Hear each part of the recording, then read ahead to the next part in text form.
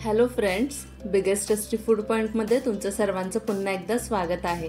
आज आपण पाहणार आहोत तिखट आंबट अशी हिरवी चटणी.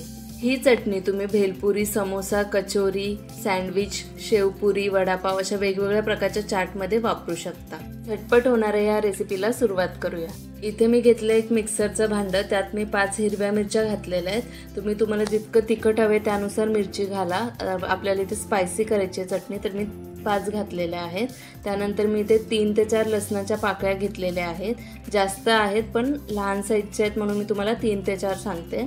त्यानंतर मी घालणार इथे अर्धा इंचपेक्षा कमी आलं. एक छोट्या साईजचा कांदा स्वच्छ धुवून घेतलेला तो चिरून मी यात घातलेला आहे. अर्धा टोमॅटो चिरून घेतलेला आहे. थिंबीरचे दहा ते बारा देठ आणि यात याला आपण असे तुकडे करून घालणार आहोत.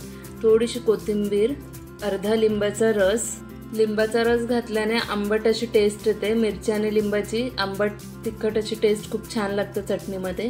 त्यानंतर चवीनुसार मीठ आणि थोडं पाणी घालायचं. इतपत पाणी घालायचं की आपली चटणी बारीक अशी वाटली गेली पाहिजे. जास्तीचं पाणी घालायचं नाही आहे साधारण इथे मी तीन ते चार टेबलस्पून पाणी घातलेलं आहे.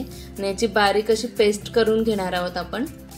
थोडंसं फिरवून घेतलेलं आहे आपण. आता एकदा चेक करूया.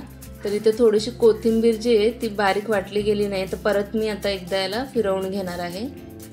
तर अशा पद्धतीने तुम्ही पाहू शकता इथे आपली छान अशी चटणी तयार झालेली आहे. तीन ते चार मिनटामध्ये ही चटणी तयार होते. कोणत्याही चाटमध्ये ही चटणी घातली तर तुमच्या पदार्थाची चवी नक्कीच वाढवेल. व्हिडिओ आवडल्यास लाईक शेअर सबस्क्राईब नक्की करा. बेलायकनसुद्धा प्रेस करा. थँक्यू